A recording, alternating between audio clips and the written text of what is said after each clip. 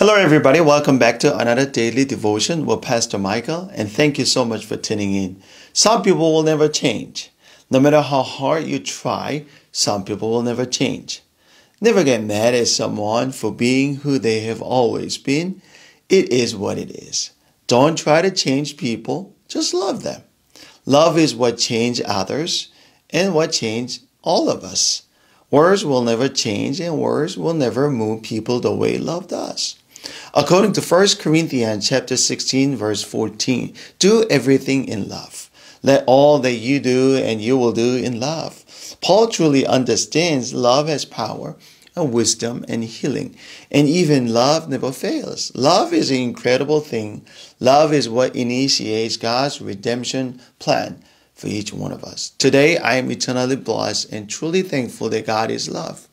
His incredible love for me is enough. His love has changed my being and the way I see, the way I treat, the way I love people around me. This morning, I strongly pray for each one of you that God will continue to enable you to love others deeply, fully, and truly, and unconditionally. Friends, do not spread virus. Spread love. Do not be loud. Be love today. God bless.